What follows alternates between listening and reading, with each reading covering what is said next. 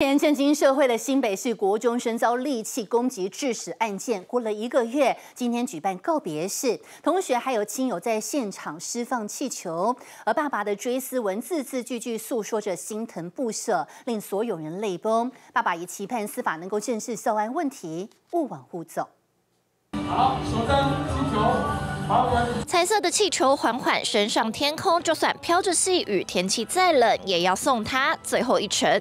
新北市国三生上个月在学校被别班的同学持利器攻击，抢救后不治。二十五号，家人替他举办告别式，同学、老师都来了。你是如此孝顺、善解人意的小孩，可惜上苍造化弄人，让你遭受如此的劫难。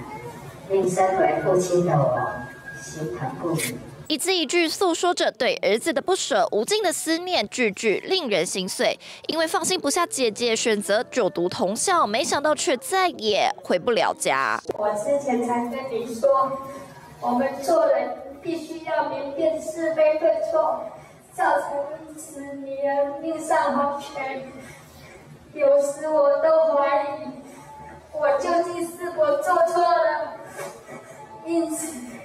我也自责不已。追思文讲到一半，还是忍不住哽咽，现场一片哀戚。儿子来不及毕业就遭遇不幸，校长把他在学校的最后一份作品《家庭树》连同毕业证书一起交到他的手上。我也会持续秉持这一份理念，坚持走下去。为你讨回公道。爸爸期盼司法能正视小安问题，勿往勿纵，不要让孩子的血白流。也希望自己的孩子是最后一位受害者。